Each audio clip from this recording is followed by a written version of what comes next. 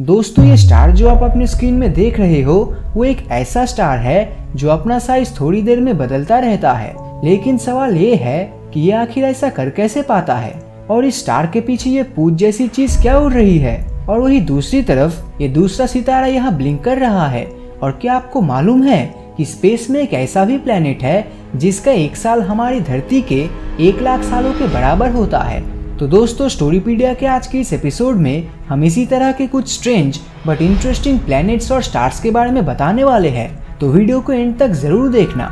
Number पाँच पर है Gliese five eight one C दोस्तों, ये प्लैनेट हमारे सोलर सिस्टम से करीब 20 लाइट ईयर की दूरी में पाया जाता है, जिसका एक हिस्सा हमेशा उसकी सूरज की गर्मी की वजह से जलता रहता है और वही दूसरा हिस्सा हमेशा बर्फ़ से ढका हुआ होता है। और ऐसा इसलिए है क्योंकि ये अपने होस्ट स्टार के काफ़ी करीब है। और सिर्फ़ तेरह दिनों में ही ये प्लेनेट अपने स्टार का एक चक्कर पूरा कर लेता है। साथ ही ये प्लेनेट टाइडली लॉक्ड है, जिसका मतलब इसका एक हिस्सा हमेशा सूरज की ओर होता है और वही दूसरा हिस्सा चाँद की ओर। लेकिन इन सब के बावजूद भी साइंटिस्ट की माने तो ये प्लेनेट लाइफ के लिए काफ़ी ज़्यादा हैबिटेबल हो सकता है। और ऐसा इसलिए है क्योंकि इन दोनों ही हिस्से के बीच के हिस्से में टेम्परेचर लाइफ के लिए काफ़ी ज़्यादा आइडियल है। क्योंकि यहाँ ना ही ज़्यादा गर्मी है और ना ही ज़्यादा ठंडी। साइंटिस्टों का तो ये भी मानना है कि यहाँ एक्सट्रीमोफाइल नाम का ये माइक्रो ऑर्गेनिज्म भी पाया जा सकता है। नंबर चार पर है मीरा स्टार। इस सितारे को ओमिक्रोसेटी के नाम से भी जाना जाता है और इसका साइज़ हमारे सूरज से करीब 700 गुना ज़्यादा बड़ा है। ये बड़ा ही अजीब सितारा है, जिसे 13 अगस्त 1596 को खोजा गया था। लेकिन जब ये स्टार साइंटिस्टों को मिला था, तब ये काफ़ी ज़्यादा छोटा था। पर बाद में जब इसे साइंटिस्ट द्वारा ऑब्ज़र्व किया गया, तब ये पता चला कि ये सितारा किसी अननोन रीजन के चलते काफ़ी तेज़ी से अपना साइज़ बढ़ा रहा था। और कुछ ही वक्त में ये सितारा अपने ग्रुप का सबसे बड़ा स्टार बन गया। लेकिन बाद में वो स्टार वापस से छोटा होने लगा और एकदम से वहाँ से गायब ही हो गया। लेकिन वापस से ठीक 15 साल बाद वो सितारा साइंटिस्टों को दिखाई दिया, जिसके बाद साइंटिस्ट ने ऑब्ज़र्व किया कि वो स्टार इस चीज़ को कंटिन्यूसली रिपीट कर रहा है, पर एक अनपैटर्न वेज में, जिस कारण साइंटिस्ट ने इसे मीरा नाम दिया था।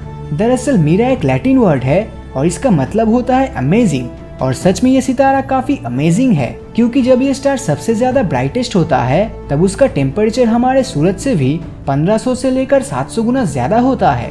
खैर जब साल 2003 में साइंटिस्ट इस अमेजिंग स्टार की स्टडी करने के लिए गैलिक्स टेलीस्कोप को भेजते हैं, तब उन्हें पता चलता है कि मीरा के पास उसकी खुद की एक गैस की टेल भी मौजूद है, जिसकी लंबाई 13 लाइट ईयर्स की है। और मीरा इस टेल में जितना गैस 10 साल में रिलीज़ करता है, बाकी प्लैनेट्स को उतना ही गैस छोड़ने के लिए तीस हज़ार सालों से भी ज़्यादा समय लगता है।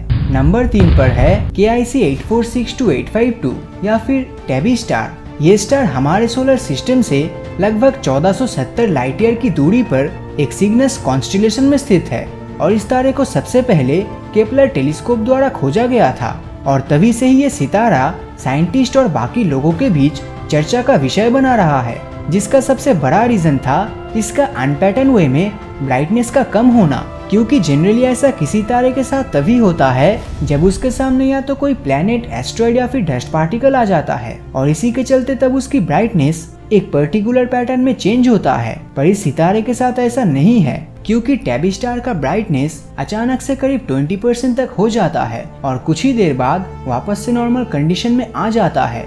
और साइंटिस्टों की माने तो ये तभी पॉसिबल है जब इसके आसपास काफ़ी हाईली एडवांस एलियंस के द्वारा बनाया गया कोई मेगा स्ट्रक्चर मौजूद हो जो इस सितारे से एनर्जी निकालने का काम कर रहा हो।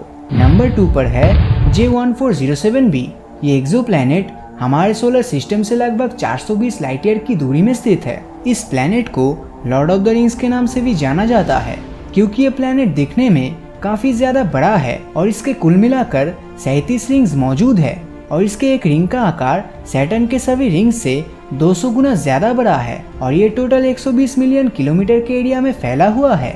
ये एरिया उतना ही बड़ा है जितना हमारे सूरज और चाँद के बीच की दूरी है। इनफैक्ट अगर हम इसके सैटर्न को इससे रिप्लेस कर दे तो हम रात को इसके रिंग्स को अपनी खुली आँखों से देख भी पाएँगे। पर बदकिस्मती से इसके ये खूबसूरत रिंग्स कुछ मिलियन साल बाद सेलेस्टियल प्रोसेस के चलते एक्सोमून में बदल जाएगा। नंबर वन पर है Z mass J two one two six दोस्तों, ये प्लेनेट हमारे सोलर सिस्टम के सबसे बड़े प्लेनेट यानी कि जुपिटर से भी 15 गुना ज़्यादा बड़ा माना जाता है।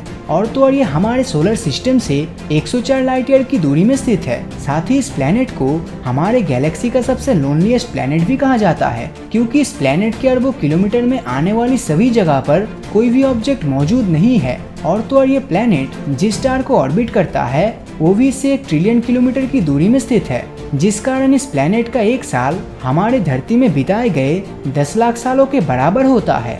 जब हमारे साइंटिस्ट को ये प्लेनेट मिला था, तब उन्हें इस बात का अंदाज़ा बिल्कुल नहीं था, क्योंकि उनको लगता था कि ये प्लेनेट एक ड्वार्फ प्लेनेट है, जो यूनिवर्स में इधर उधर भटक रहा है। एक ट्रिलियन किलोमीटर दूर होने के बाद भी साइंटिस्ट ने इसके स्टार को खोज निकाला और इसका इतना बड़ा ऑर्बिट होने के चलते ये प्लेनेट और स्टार हमारे द्वारा खोजा गया, अब तक का सबसे बड़ा सोलर सिस्टम बन गया।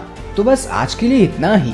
तो अगर ये वीडियो आपको अच्छा लगा तो इस वीडियो को लाइक और अपने दोस्तों के साथ शेयर करना मत भूलना। और अगर अभी तक आपने हमारे चैनल को सब्सक्राइब नहीं किया है तो सब्सक्राइब करके नोटिफिकेशन बेल को ऑन कर दीजिए, क्योंकि मैं ऐसे वीडियोस हर हफ़्ते लाता रहता हूँ। तो मिलता हूँ आपसे अगले वीडियो में, और हमेशा की तरह थैंक्स फॉर वॉचिंग